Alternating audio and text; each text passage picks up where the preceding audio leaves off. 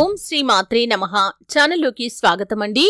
ఫిబ్రవరి పదహారవ తేదీ రథసప్తమి రోజున కొడుకులు ఉన్న ప్రతి తల్లి కూడా ఈ పరిహారం తప్పకుండా చేసి తీరాల్సిందే.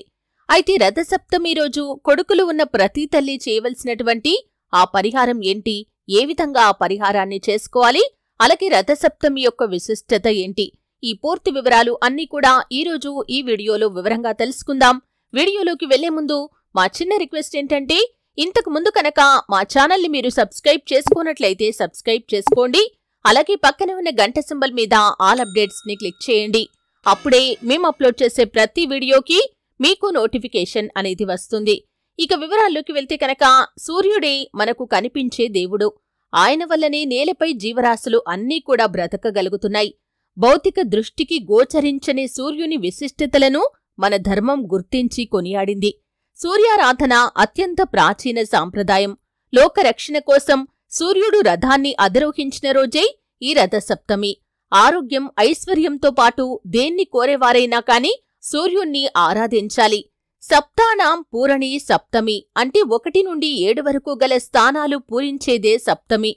సూర్యరథ గమనానికి కారణమైంది కాబట్టి ఈ పండగకు రథసప్తమి అని పేరు పెట్టారు పెద్దలు. కొందరు రథసప్తమినే సూర్య జయంతి అంటారు. కాని నిజానికి సూర్యుడు పుట్టినరోజు కాదిది. సూర్యుడు తన ఉష్ణ చైతన్యాన్ని లోకులకు పంచిపెట్టడం కోసం రథాన్నెక్కి విధులలో ప్రవేశించిన రోజిది. అయితే లోకంలో సూర్య జయంతిగా ఇది పిలువబడుతూ ఉంది ఇక్కడ రథారోహణమే ప్రధాన కృత్యం. లోక బాంధవ ధర్మానికి సిద్ధపడిన రోజు కాబట్టి ఇది మామూలు రథం కాదు. దీనికి ఒక్కటే చక్రం. తొడల నుండి క్రింది భాగం లేని అనూరుడు రథసారథి. ఛందస్సులనే గుర్రాలే ఈ రథాన్ని లాగుతాయి. ఏమాత్రం నిలిచి ఆధారం లేని ఆకాశంలో పయనిస్తుంది ఈ రథం. ఇన్ని విలక్షణ విశేషాలు ఉన్నాయి కాబట్టి ఈ పండగని రథం పేరుకల సప్తమిగా వ్యవహరిస్తూ ఉంటారు. సూర్యుడు రథోద్యోగంలో చేరింది మొదలు రాత్రింబవళ్ళు తిరుగుతూనే ఉన్నాడు. ఒక్కరోజు కాదు ఒక్క నిమిషం కూడా ఎక్కడా కూర్చునే ఉద్యోగం కాదది. ఆయన సారథి అంతే. కాళ్ళున్నవాడు ఎక్కడికైనా ఎప్పుడైనా విహారానికి వెళ్ళవచ్చు. కాని వికలాంగుడైన అనూరుడు అలా చెయ్యలేడు కాళ్ళు లేకపోవటం వల్ల అతడు మన పాలిట వరమయ్యాడు. సూర్య రథానికి ఉన్న గుర్రాలను ఛందస్సులు అంటారు. ఇవన్నీ వేద ఛందస్సులు. అవి ఒకటి గాయత్రి రెండు త్రిష్ణుప్ మూడు జగతి అనుష్టుప్ పంక్తి బృహతి ఉష్ణిక్ అనేవి. వాటికి ఎప్పటికీ అలసట అనేది ఉండదు. గుర్రం వేగవంతమైన చైతన్యానికి చిహ్నం. సూర్యుడి ఏడు గుర్రాలు ఏడు రకాల కాంతి కిరణాల్ని ప్రసరిస్తూ ఉంటాయి కాబట్టి సూర్యకిరణాల్లో ఏడు రంగులు ఉంటాయి. ఇంతటి విశిష్టత రథసప్తమి రోజుకు ఉంది. సౌరమానం ప్రకారంగా ప్రతి సంవత్సరం మాఘమాసంలో శుద్ధ సప్తమిని రథసప్తమిగా పరిగణిస్తాడు. ఈ రోజున అరుణోదయ వేళ చేసిన స్నానం జపం అర్ఘ్యప్రధానం తర్పణాదులు అనేక కోట్ల రెట్ల పుణ్య ఫలితాన్ని పొందుకుంటాయి. ఆయురారోగ్య సంపదలను ఇస్తాయి. రథసప్తమి రోజున ప్రాతకాలంనే లేచి సూర్యుడికి ఇష్టమైన అర్కపత్రాలను రెండు భుజాలపై తలపై పెట్టుకొని సప్త సప్త మహాసప్త సప్త ద్విపావసుంధర సప్త జన్మకృతం పాపం మకరే హంతి సప్తమి అనే శ్లోకం చెప్పుకుంటూ స్నానం చేయటం వల్ల మంచి ఫలితం కలుగుతుంది. సూర్యునికి అర్కహ అనే పేరు. అందువల్ల సూర్యుడికి జిల్లేడు అంటే చాలా ప్రీతి. ఇందులో నిమిడి ఉన్న ఆరోగ్య రహస్యం ఏమిటంటే జిల్లేడులో కొన్ని ఔషధ గుణాలు ఉన్నాయి. ఇవి ఆ సమయంలో నీటిలో కలిసి మన శరీరానికి ఋతువులో వచ్చిన మార్పులకు అనుగుణంగా మనల్ని సిద్ధపడేలా చేస్తాయి. ఇలా చేసే స్నానం ఆయుర్వేద లక్షణాలను కలిగి ఉంటుంది. అనేక చర్మ రోగాలను కూడా నివారిస్తుంది. స్త్రీలు ఈరోజు చిక్కుడు ఆకులు చిక్కుడు పువ్వులు చిక్కుడు కాయలు వివిధ ఫల పుష్పాదులను సేకరించి సంక్రాంతి రోజున పెట్టిన గొబ్బెమ్మలు ఎండి పిడకలుగా అయినవి తెచ్చుకొని తులసి కోట వద్ద సూర్య భగవానుని ప్రతిమ కాని పటాన్ని కాని పూజించాలి. సూర్యుడికి ఎదురుగా గొబ్బెమ్మల పిడకలతో మంట చేసి ఆవుపాలతో చేసిన పొంగలిని చిక్కుడు ఆకులపై ఉంచి ప్రసాదంగా సూర్యదేవునికి నివేదన చేయాలి. తద్వారా వంశవృద్ధి ఆయురారోగ్యాలు సిద్ధిస్తాయని మన పూర్వీకుల నుండి ఇప్పటివరకు ప్రగాఢమైన విశ్వాసం. ఈరోజు ఖగోళపరంగా సూర్యుడు తన సంచార గతిని మార్చుకునే రోజు అనే చెప్పొచ్చు. ఈ రోజు నుంచే భూమి సూర్యుడికి దగ్గరవటం ప్రారంభిస్తుంది. ఆదిత్య శక్తి భూమికి పుష్కలంగా లభించటం మొదలవుతుంది. ఈరోజు చేసే స్నానాలు వ్రతాలు సూర్యుడికి చేసే పూజలు దానాలు తర్పణాదులు అధిక ఫలాన్నిస్తాయి. జన్మ జన్మాంతరాలలో మనోవాక్కులతో తెలిసి తెలియక చేసిన సప్తవిధ పాపాల వల్ల ఏర్పడిన రోగం శోకం మున్నగునవన్నీ ఈ రోజున సూర్యనారాయణుణ్ణి పూజించటం వల్ల నశిస్తాయి. ఇంతటి విశిష్టత రథసప్తమి రోజుకు ఉంటుంది. అయితే ఈ రథసప్తమి రోజున కొడుకులు ఉన్న ప్రతి తల్లి కూడా ఖచ్చితంగా ఈ పరిహారాన్ని చేసుకోవాలి. ఎందుకంటే మీ కొడుకుల యొక్క జీవితంలో మీరు అభివృద్ధిని శ్రేయస్సును చూడాలి అనుకుంటే కనుక ఖచ్చితంగా కొడుకులు ఉన్న ప్రతి తల్లి కూడా ఈ విధంగా పరిహారం చేయాలి. మీరు ఈ రోజు చేయాల్సింది ఏమిటి అంటే కనుక మీ కొడుకులు చిన్నవారైతే కనుక మీరే స్నానం చేయిస్తారు కాబట్టి స్నానం చేసే నీటిలో కొంచెం పసుపు కుంకుమ వేసి స్నానం చేయించండి.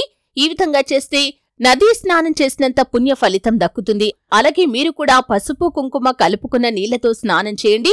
చిటికెడు పసుపు చిటికెడు కుంకుమ వేసుకుంటే సరిపోతుందండి. ఈ విధంగా సూర్యోదయానికి ముందే స్నానం చేసిన తర్వాత సూర్య భగవానుడికి అర్ఘ్యం సమర్పించండి. అలాగే నీటిని సమర్పించే సమయంలో దాంట్లో ఒక మందార పుష్పాన్ని వేసి నీటిని సమర్పిస్తే సూర్య భగవానుడి యొక్క ఆశీస్సులు ఖచ్చితంగా మీకు లభిస్తాయి. ఆ తర్వాత మీరు పూజా మందిరంలోకి వెళ్ళి ఖచ్చితంగా దేవతారాధన చేయాల్సి ఉంటుంది. అంటే నిత్య దీపారాధన చేసే అలవాటు కొంతమందికి ఉంటుందండి. కానీ కొంతమందికి రోజూ దీపారాధన చేసే అలవాటు ఉండదు. ముఖ్యంగా ఈ రోజున సూర్య భగవానుడికి నమస్కారం చేసిన తర్వాత తులసి కోట దగ్గర దీపం వెలిగించండి. అలాగే మీ పూజా మందిరంలో కూడా దీపం వెలిగించండి. ఒకరు ఉంటే ఒకరండి లేకపోతే ఇద్దరు ముగ్గురు ఇలా ఎంతమంది ఉన్నా సరే వారిని తూర్పు ముఖంగా కూర్చోబెట్టండి. వారికి కుంకుమతో బొట్టు పెట్టండి. ఈ విధంగా పెట్టిన తర్వాత మీ ఎడమ చేతిలో కాస్త గల్లలోపు తీసుకుని దానిపైన రెండు లవంగాలు వేసి మీరు మీ ఎడమ చేతితో వారికి దిష్టి తీయండి. అంటే మూడుసార్లు సవ్య దిశలో అలాగే మూడుసార్లు అపసవ్య దిశలో వారికి దిష్టి తీసిన తర్వాత ఆ యొక్క గల్లల ఉప్పు రెండు లవంగాలు ఏవైతే ఉన్నాయో నిర్జన ప్రదేశంలో పారవేసిరండి లేకపోతే మీ ఇంట్లోని వాష్ ఏరియాలో పారపోసి నీళ్ళు పోసేయండి. అంటే దాన్ని ఎవరూ తొక్కకూడదు ఎవరూ తాకకూడదు. ఈ విధంగా చేసిన తర్వాత మీ కొడుకులను వెళ్ళి కాళ్ళు చేతులు శుభ్రంగా కడుక్కొని రమ్మని చెప్పండి వీలైతే స్నానం చేయమని చెప్పండి. ఈ విధంగా చేసిన తర్వాత మీరు వారికి ఏదైనా తీపి పదార్థాన్ని తినిపించండి. ఈ విధంగా మీరు దిష్టి తీశారంటే అంటే చాలా మందికి చాలా సందర్భాల్లో దిష్టి తీయటం అనేది అలవాటుగా ఉంటుంది. కానీ ఈ సమయంలో అంటే ఈ యొక్క రథసప్తమి రోజు ఈ విధంగా దిష్టి తీశారంటే వారిపై ఉన్నటువంటి దుష్ట శక్తుల ప్రభావం నెగటివ్ ఎనర్జీ అంతా కూడా బయటకు వెళ్ళిపోతుంది పాజిటివ్ ఎనర్జీ వారిని ఆకర్షిస్తుంది. అంటే వారి జీవితంలో మీరు ఎటువంటి సమస్యలనైతే ఎదుర్కొంటున్నారు ఒకవేళ చిన్నపిల్లలైతే కనుక మొండితనంగా ప్రవర్తించటం అలాగే చదువులో రాణించకపోవటం చెప్పిన మాట వినకపోవటం అలాగే అనారోగ్య సమస్యలు ఇటువంటి సమస్యలతో బాధపడుతున్నవారు ఈ పరిహారం చేసుకోవచ్చు. ఒకవేళ మీ పిల్లలు పెద్దవారైతే కనుక చదువులో మంచి ఉత్తీర్ణత సాధించాలని కెరియర్ పరంగా వారికి మంచి అవకాశాలు రావాలని వివాహం జరగాలని ఈ విధంగా వారి పట్ల మీకు ఎటువంటి కోరికలైతే ఉన్నాయో వారి జీవితంలో వారు ఎటువంటి సమస్యలైతే ఎదుర్కొంటున్నారో ఆ సమస్యలు అన్ని తొలగిపోవటం కోసం మీరు ఈ పరిహారం చేసుకోవచ్చు. ఈ పరిహారం చేసిన తర్వాత ఖచ్చితంగా వారి యొక్క జీవితంలో మార్పును చూస్తారు. అంటే వారి లోపల ఉన్నటువంటి నెగటివ్ ఎనర్జీ వారిపై ఎటువంటి దుష్టశక్తుల ప్రభావం అయితే ఉందో ఆ ప్రభావం మొత్తం బయటకు వెళ్ళిపోవటంతో పాజిటివ్ ఎనర్జీ వారి లోపలికి ప్రవేశిస్తుంది. వారి జీవితంలో వారు అంతకుముందు ఎటువంటి సమస్యలనైతే ఎదుర్కొంటూ వస్తున్నారో ఆ సమస్యలకు ఖచ్చితంగా పరిష్కారం అనేది కూడా లభిస్తుంది.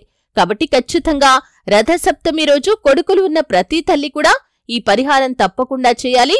వారి జీవితంలో మీరు గణనీయమైన మార్పులనైతే చూస్తారు. ఆశించిన సానుకూల మార్పులను మీరు ఖచ్చితంగా చూడగలుగుతారు. చూశారు కదండి? ఫిబ్రవరి పదహారవ తేదీ రథసప్తమి రోజున కొడుకులు ఉన్న ప్రతి తల్లి చేయవలసినటువంటి పరిహారం ఏంటో తెలుసుకున్నారు. వీడియో నచ్చితే ఖచ్చితంగా లైక్ చేయండి. మరిన్ని మంచి మంచి వీడియోల కోసం ఇప్పుడే మా ఛానల్ని సబ్స్క్రైబ్ చేసుకోండి.